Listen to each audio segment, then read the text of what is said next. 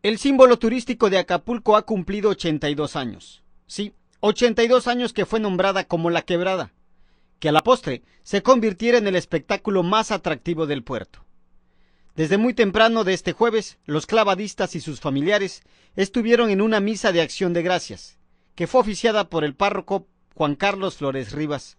Ha simbolizado pues lo que significa Acapulco, porque es un esfuerzo grande el hecho de que estas personas aquí se ganen la vida arrojándose al abismo, al mar.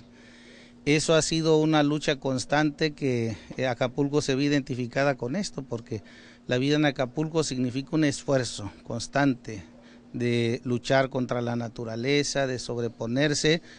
Y esto es un signo muy fuerte que nos lleva a la esperanza toda la vida es una vida de lucha, es una vida de fe.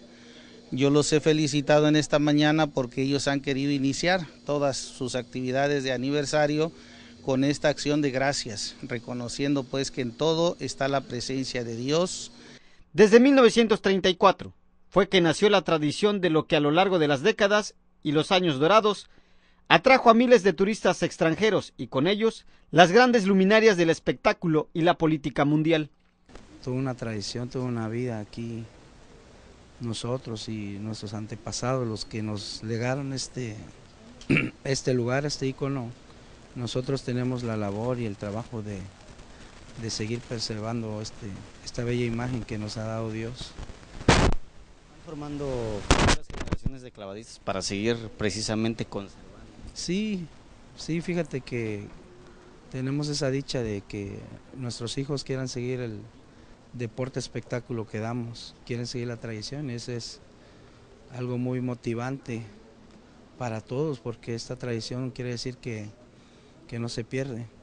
Durante el jueves y durante este viernes, los festejos seguirán en diversas actividades y conciertos. Hago la más extensa invitación a todo el público acapulqueño, a todos los barrios vecinos a, a este lugar de, de la quebrada y a todo el público en general a todos los que nos ven en estas, a través de estas imágenes a que vengan y se unan a las fiestas del ícono de, de Acapulco.